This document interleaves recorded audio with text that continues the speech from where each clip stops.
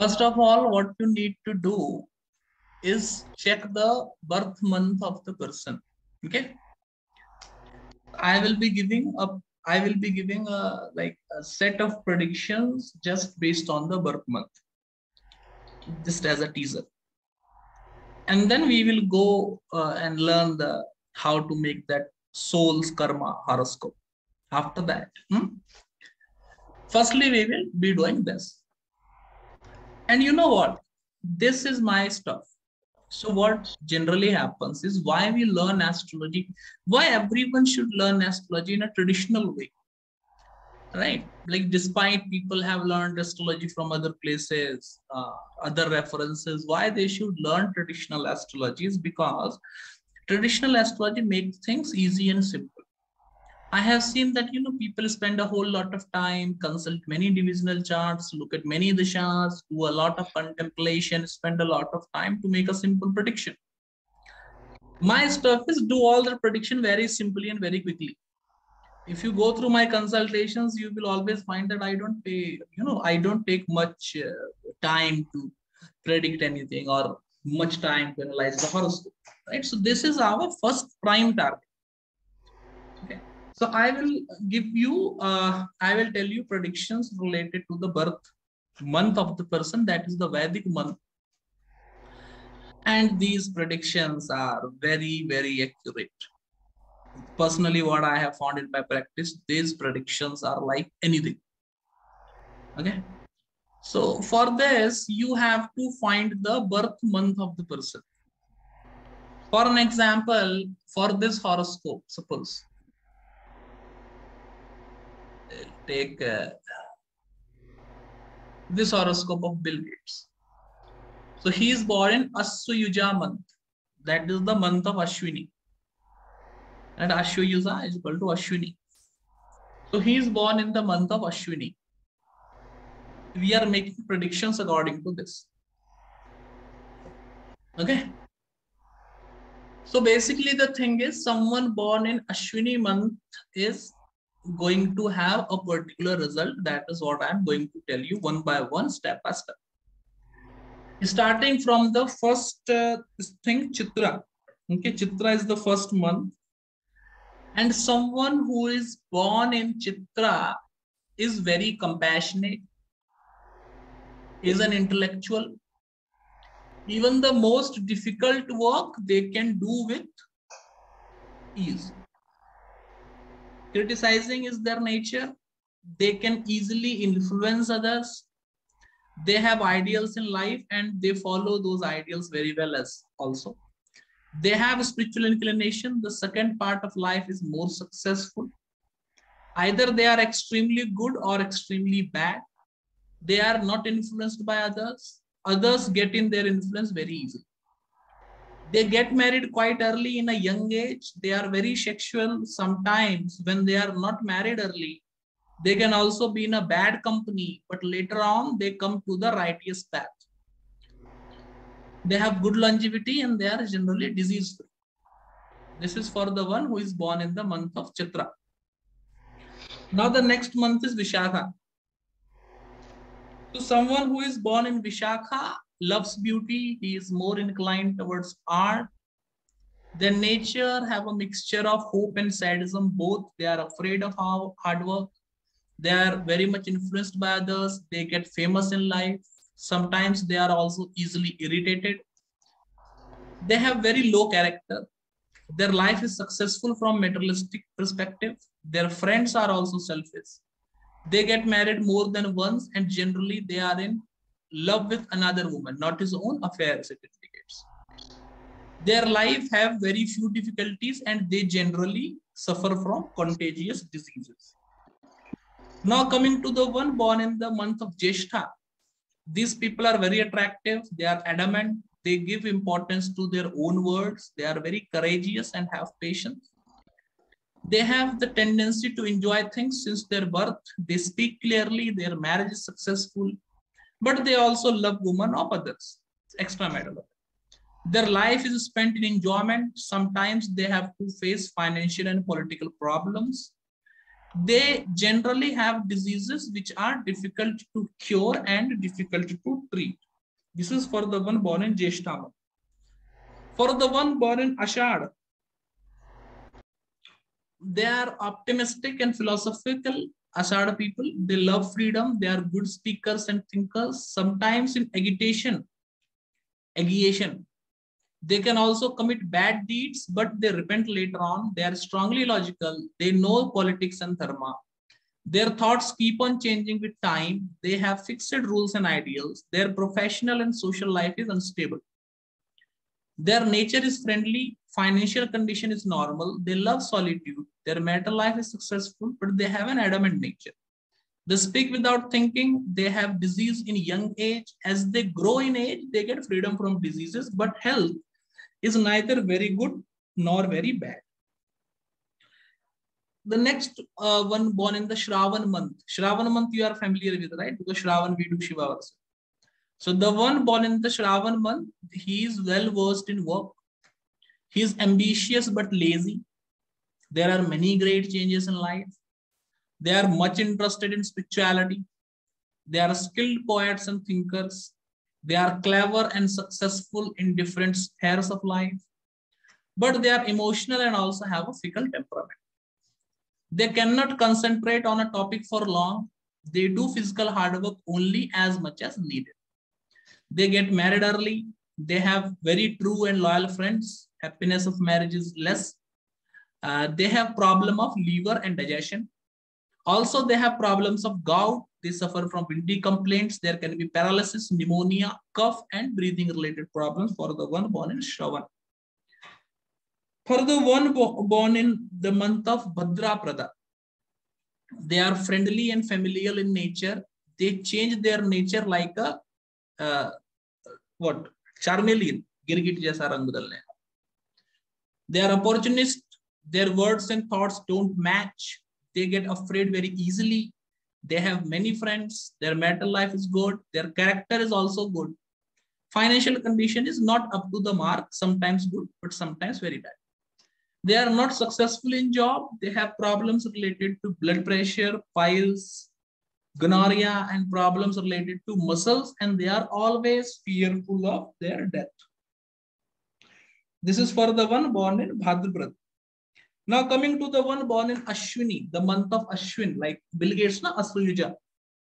Such people are friendly. They are much interested and devoted to their work and their undertakings, as Bill Gates says. They are industrious. He is. He is a leader who solves the problem. He is the one who promotes the things and have a normal status in society. Though Bill Gates have high status, that is depending on their combinations. They are generally teachers, managers, normal servants, collectors, and or doctors. They sometimes face financial problems also. They have many wishes and desires. They get married early. They have many friends, very few enemies. But they have to struggle in life because of unexpected diseases. They have to face, they have to struggle in life and they get unexpected and sudden diseases also and because of that they have to suffer trouble. The one born in the month of Kartik is courageous and a philanthropist. They have physical strength and they are physically powerful also. Their mental strength is also good, but they are adamant and fickle by nature. They waste their time and whatever they think, they do that despite the fact that they already know that their thinking will lead them to no result. They are generally doctors, compounders, businessmen, politicians, or into giving and sharing of information, like big data analysis, data sharing, etc.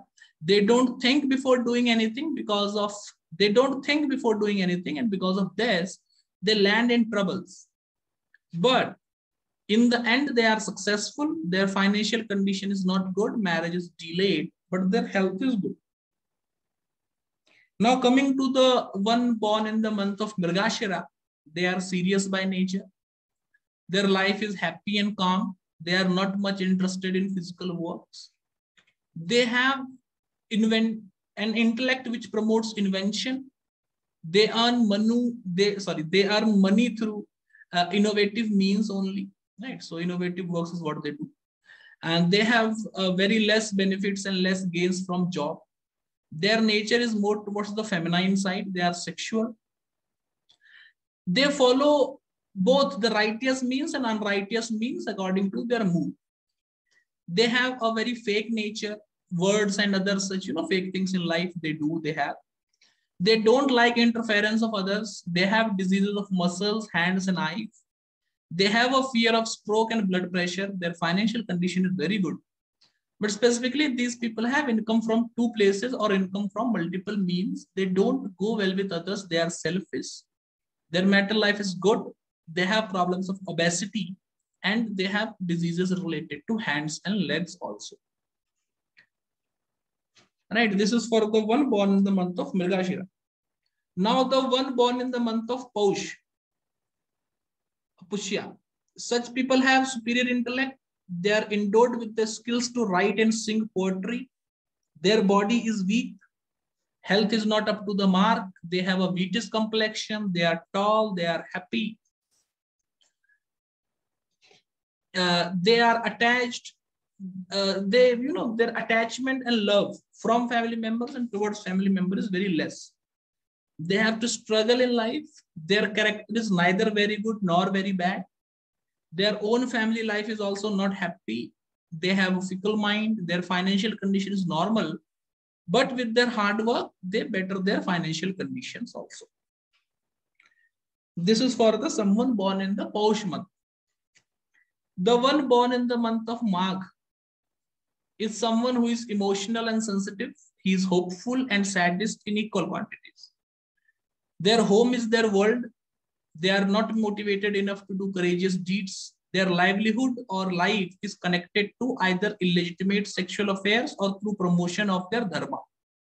This is what secretly leads them to success and prominence. You know, this illegitimate affairs and talking about dharma, propagation of dharma is what leads them to success. They have the quality to rule over others. They are industrious. They progress slowly and steadily in life. They are more interested towards business. Their health is weak. They are easily struck in the matter of women. Women are their weakness. They spend a lot of money on women and they have very less friends also. The one born in the month of Magh. The one born in the month of Fagun is generous by heart and uh, they are into uh, invention and intellectual things. Uh, they are into invention and intellectual things. They invent something in life. They are true to their words. They are highly motivated to work. They quickly trust others and don't cheat anyone. They are very clever in getting their work fulfilled. They are opportunist. Their financial condition is very good. They are indulged in desire, passion, and lust successful in politics, success in almost every undertaking. Sometimes for enjoyment, they can also commit sins or can do things which are morally not good. But later on, they realize their mistake and try to rectify their mistakes. At the same point of time, they are in many works, multiple things uh, they do at the same point of time. Their health is normally good, but they have problems related to blood pressure, epilepsy, and heart disease. So all the 12 months we have covered, right? We started with Chitra, the person being very compassionate and intellectual. And these are all the 12 Vedic months. And uh, the predictions related to them. Though financial condition, uh, marital life, etc., you also have to check it from the horoscope. But personally, in my practice, I have found this prediction to be very good. These predictions are very good and very accurate based on these Vedic months. Okay. So try it, practice it, and this will give you a very amazing results. Okay. So up to this extent, I will cut and put it on YouTube. So real stuff, now I will tell you. So basically, what is happening is what is the soul karma stuff that I am actually talking about. Okay. The karma of the soul. I I think you are you people are philosophically well to do about this part that there is a soul who changes body like we change clothes is what the Krishna says in Bhagavad Gita. Right?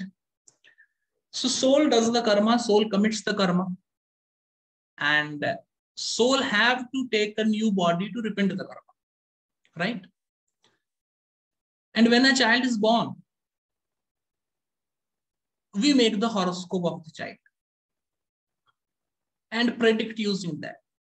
Now there are two opinions. Parashar will tell you Lagnas Dehas Vigyanam, Lagna talks about the body.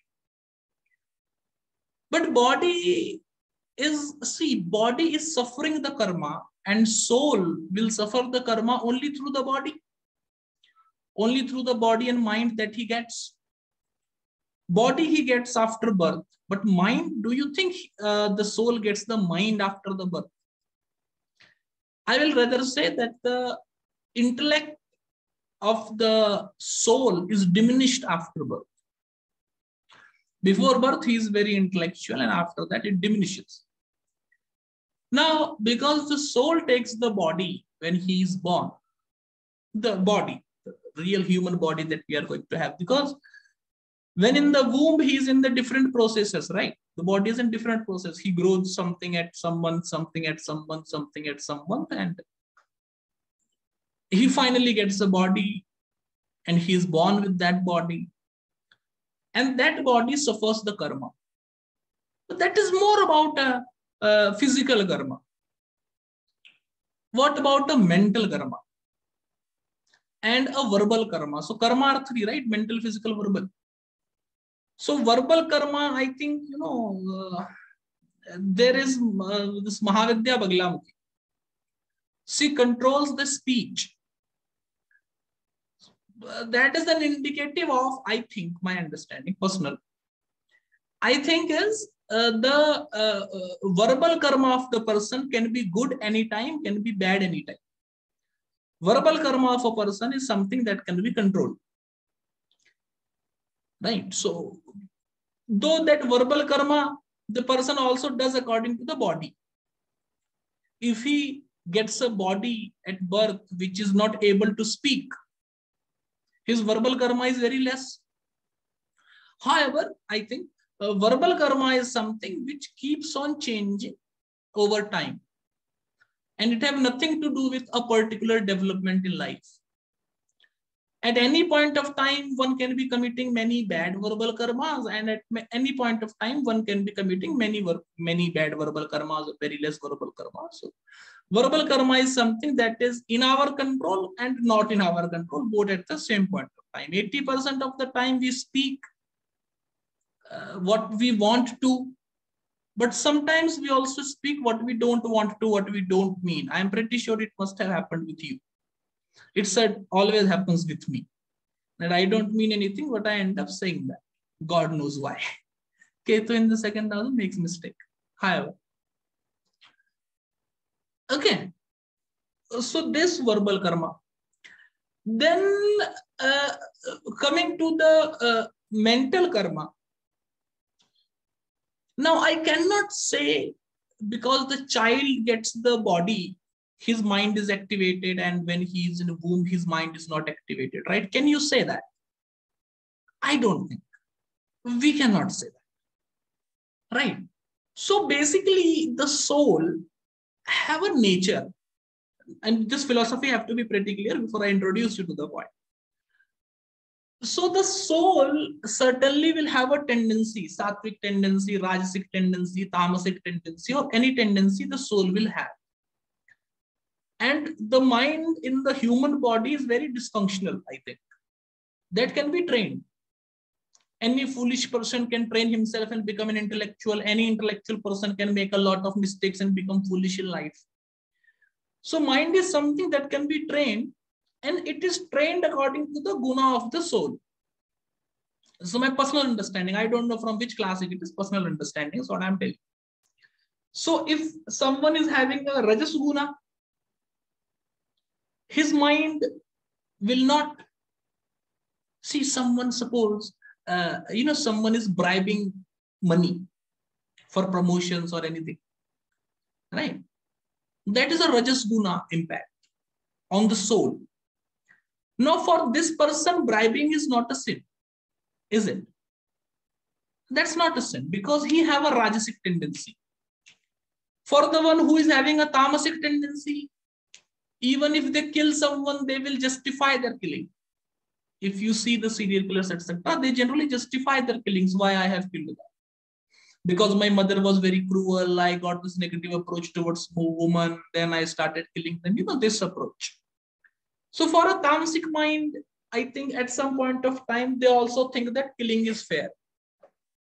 For a sattvic person, even hurting a non-living thing will be very detrimental. So the soul have a particular tendency. And according to that tendency, he is his mind is developed further.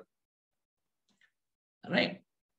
But what I am talking about, or what is the horoscope that indicates the soul karma or the DNA of karma, whatever you say, is the time when the soul decided then I should come to this earth now.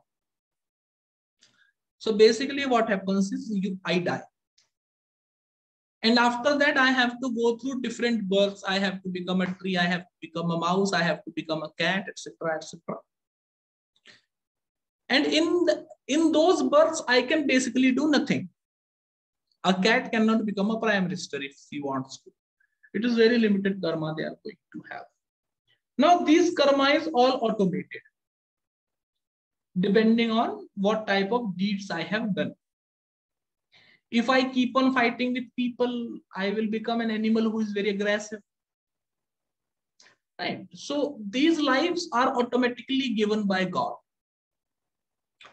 And after all these lives are over, so person first goes to the heaven or hell, gets his punishment for a certain point of time. So there is that level of certain delay after that certain delay he will get uh, he will become any animal out of the 84000 yonis that we hindus believe in.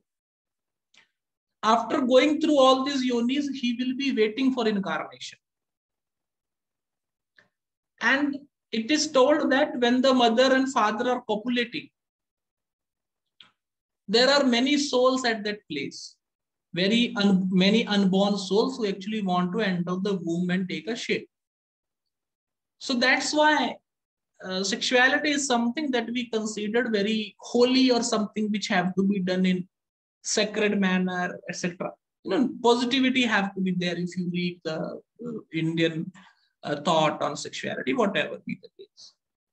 The soul keeps on waiting for to take a body or go into a womb. This is where the journey starts. This is the first step right? So after the soul have gone through the 84,000 yonis, he is told to wait.